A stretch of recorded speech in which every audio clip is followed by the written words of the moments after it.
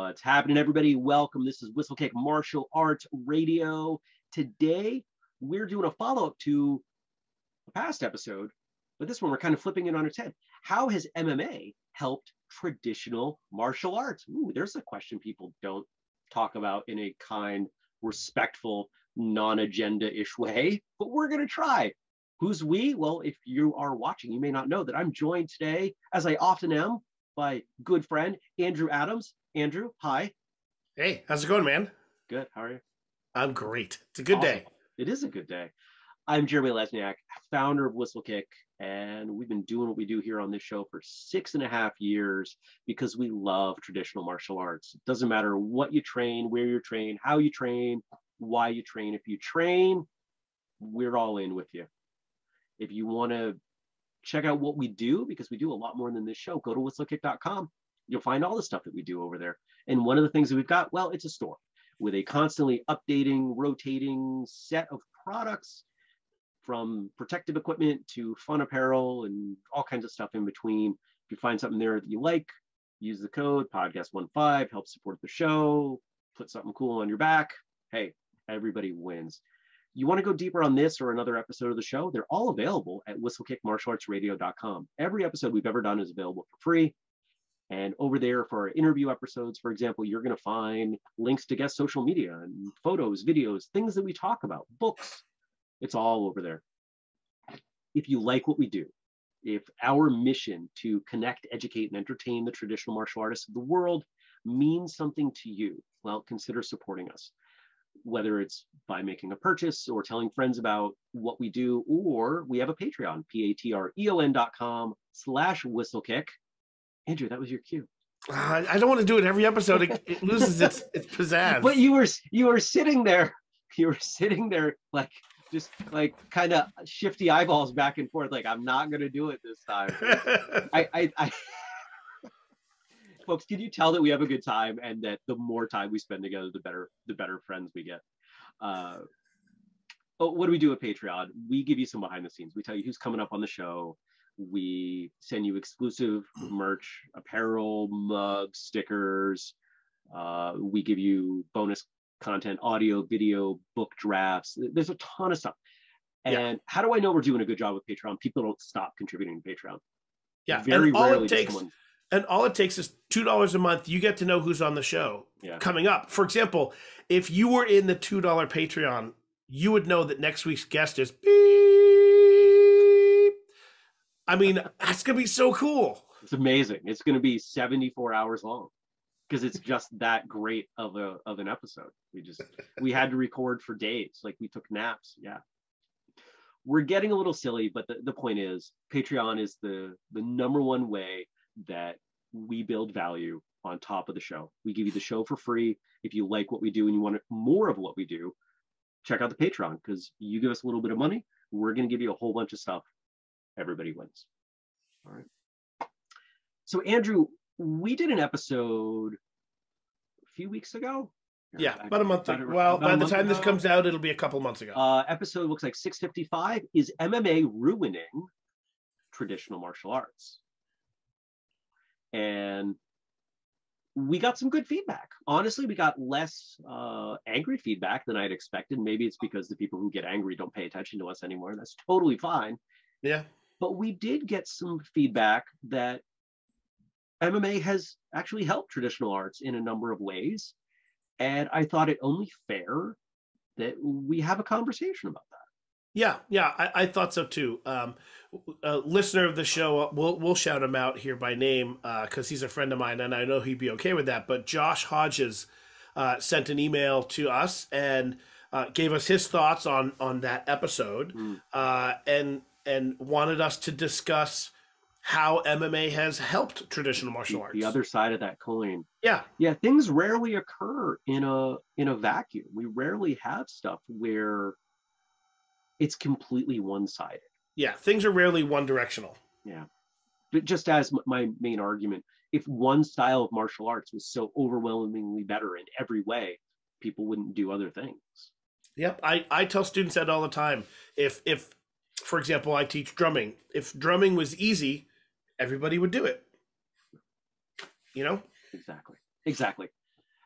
So, just to recap, in case somebody didn't check out that episode, what we did is is we went through a whole bunch of elements that are common in mixed martial arts culture, and we acknowledge that there are some dramatic differences between, let's say, your run-of-the-mill MMA gym that may even have some traditional martial arts taught in the same physical facility versus, let's say, the UFC and internationally exposed professional mixed martial arts. Correct. You know, there, there's a lot going on in between there. And most of our conversation focused on the negative elements that are common in the pro level, high level MMA. Mm-hmm. And we pointed a bunch of things out. You can go back, you can check out that episode if you want. So let's let's flip it on its head.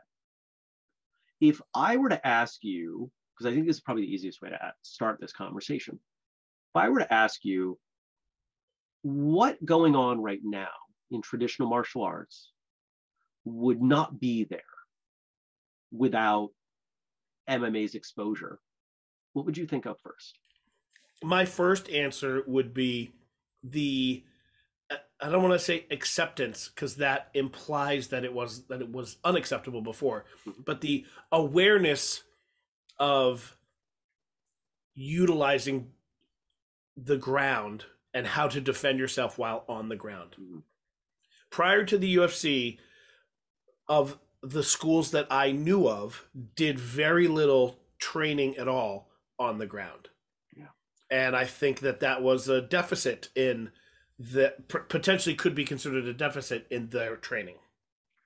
I, I would agree. To say it a little differently, striking based martial arts recognize that they were, many of them were doing their students a disservice by not giving them at least some fundamentals to be used in case the fight ends up on the ground. The argument, I just won't go to the ground, is while while that may be a goal, we all know that goals are not 100% achieved as they're not goals yep. right? Uh, people trip they fall there's momentum there's weight shift there's all kinds of reasons why you might end up on the ground and the recognition that yep we need to do something. Absolutely. I, I think is is a very good thing because it broadened the conversation. We now hear a lot of martial arts schools talking about the different ranges right? Yep. Kicking range and punching range and wrestling range and grappling range right? Like different different uh, schools will break it down differently. You know sometimes it's three sometimes it's four or five different ranges. Great. You can't solve a problem unless you acknowledge a problem. You can't unpack a situation unless you have awareness over it. And if yep. nothing else there has been more awareness brought to the the circumstances of how a fight happens from MMA. Yeah, absolutely. Um, I think just the explosion of BJJ specifically, but in general, uh, you know, ground fighting uh, has immensely improved since the UFC came out. I would completely agree. Ready for the next one? Yeah, I got one. Go ahead. The recognition that some of the things that we were always taught worked or would work in a fight, but were just too dangerous. Not all of that was true. Correct. Yep. Hitting someone in the head and knocking them out is way harder than we were ever told. Yep. It's just, it's not. All you have to do is kick the guy right here and he's going down. Well, maybe, but clearly not always because yep. you don't have to spend much time watching MMA to see some really incredible shots and people don't go down. Mm-hmm. Yep. It happens. Absolutely. I, I would even say often. It happens often. Now, of course, you could make a counter argument. These people train for that. They're used to getting hit. Their central nervous system is conditioned against such things.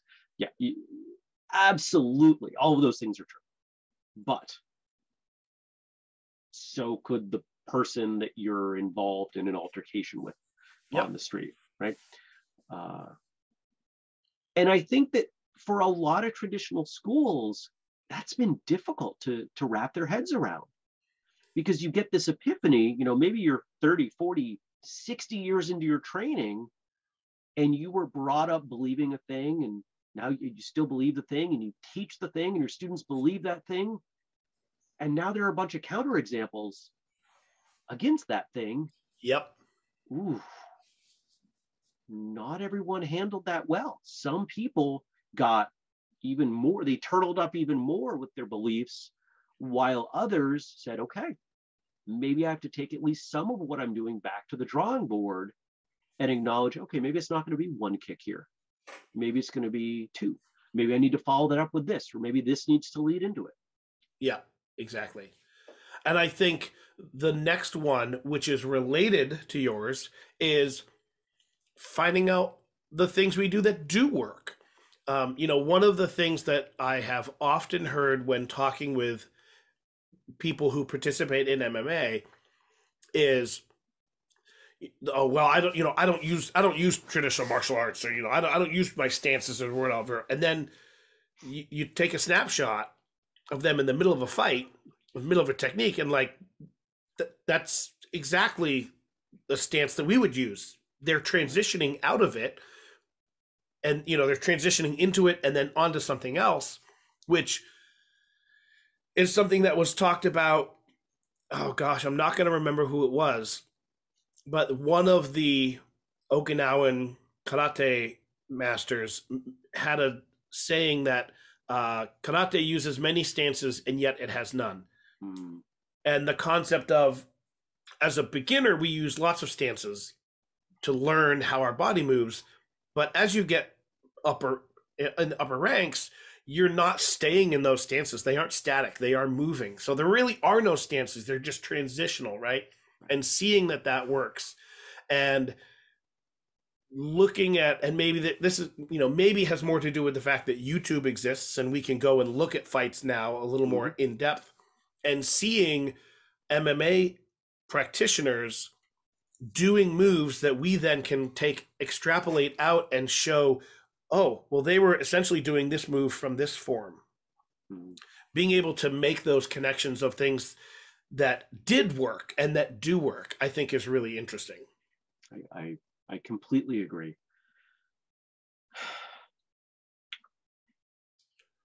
We we could very well take a tangent here about what you said. You know, MMA practitioners saying, you know, I don't do traditional arts. We but we've gone there quite a few times. So I don't really want to go there. Yeah. But the the that criticism does have some value because it forces us as traditional practitioners to understand why we do what we do. If someone watches uh, um, a karate class where students are walking or stepping forward from back stance to back stance,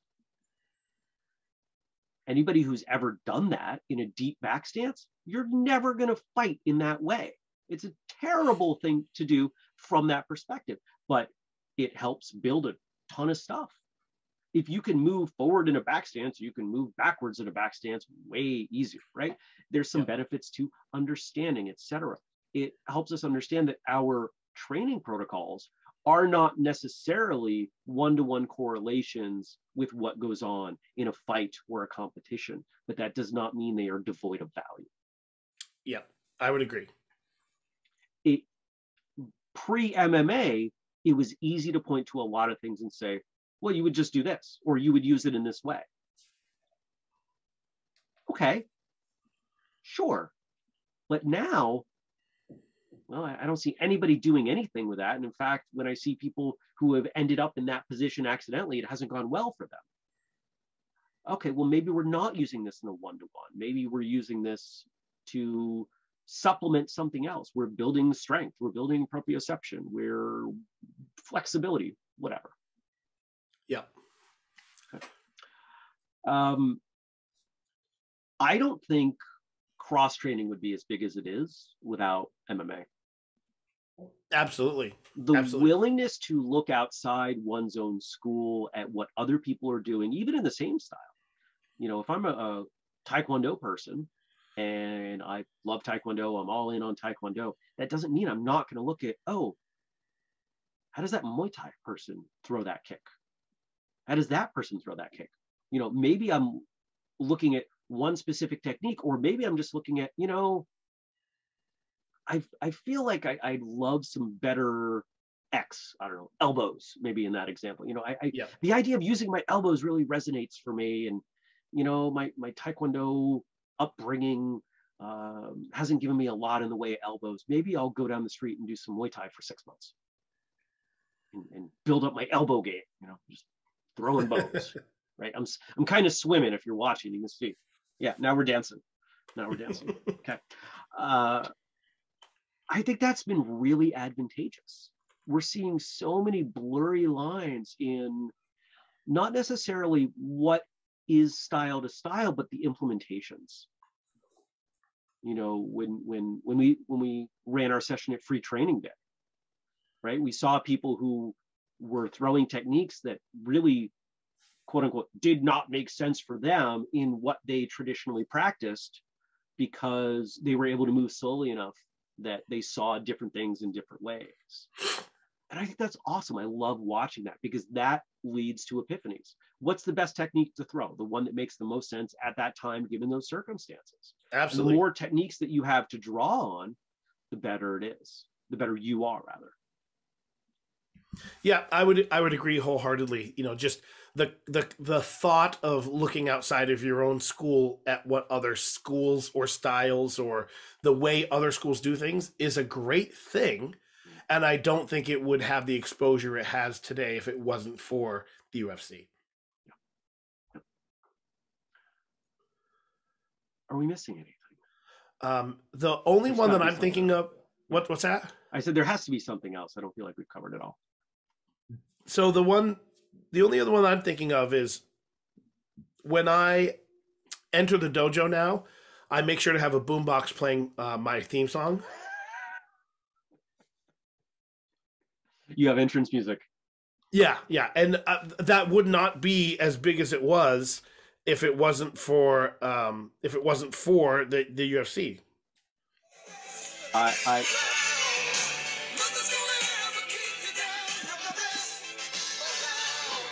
well, we just got too- demonetized on YouTube. No, I, I played a short enough clip that we're good. Okay, thank you. Um, at, at, at risk of piling on, I make sure to put on a poorly constructed trucker's hat immediately after stepping off the training floor every class. Oh, that's fair. Yep. for to to to thank my sponsors now. Um, I will say that e- even though we're we're being playful with that, there's an nobody's paying to watch traditional martial arts on Mhm. pay per view. The closest thing we have is the karate combat folks, and they're doing great stuff, but those numbers are just dwarfed. They're dismal, Ab- abysmal. I mean, There's a, compared to there's a great stuff. contraction of dismal and abysmal. A dismal. You're right. A There's a great- dismal. brand new word. It's like uh, chillaxing. Yeah. There you go. Andrew made a new word. I hope everyone uses it. Entertainment value is important. We've talked about it ad nauseum on this show over the years, more so in the early years. If things are fun, people stick around. If people enjoy watching a thing or doing a thing, they stick around. And we see that in MMA culture. You and I just recorded an episode on culture. MMA culture tends to be tends to have entertainment instilled at a more fundamental level than being, you know, the the the salt sprinkled on top, as Correct, it is in yeah. most traditional martial arts schools. People that train in MMA gyms, in my experience, tend to hang out with each other more. They tend to go to events together more. They Yeah. tend to be more open to cross training and doing other things more and i think those are all really good things they're they're just they're more we talk about the martial arts lifestyle mma practitioners tend to embody lifestyle of what they do more so than traditional practitioners Yeah. Yeah, I I could see that. I see not that. not everyone certainly not No, no. everyone but if we were to find some way to score the average yeah, yeah, yeah. I I can see that. all right Did we miss anything? If you're watching or listening, first off, thank you. But if there's an element here that we missed, we want to hear from you. Best thing Tell to do, us. check out the Facebook group Whistlekick Martial Arts Radio behind the scenes and post your feedback there. Why do we like it there rather than emailed? Well, because then people could respond. If you've got something that's horribly critical and you really want to tear us apart, yeah, please e- email us privately, jeremy at whistlekick.com, andrew at whistlekickmartialartsradio.com. But most of the time, I think people know we're we're being fair and we're doing the best we can. So if you have something to add, if you do it publicly, it gives everybody the opportunity to learn and, and have some conversation about it. And I think that that's really important because we're all trying to learn from each other. We're trying to build this community. If you want to share this episode, please do. If you want to check out all the episodes, please do in your podcast feed or whistlekickmartialartsradio.com. If you want to support us, you can tell people what we're doing. You can leave reviews, buy books on Amazon, buy something using the code podcast15, like one of our training programs, or even support the Patreon, patreon.com slash whistlekick. It's a little as two bucks a month. You can get in on there. And I think that's it for today. So thanks everybody. Until next time, train hard, Train hard, smile, smile, and have a great day. day.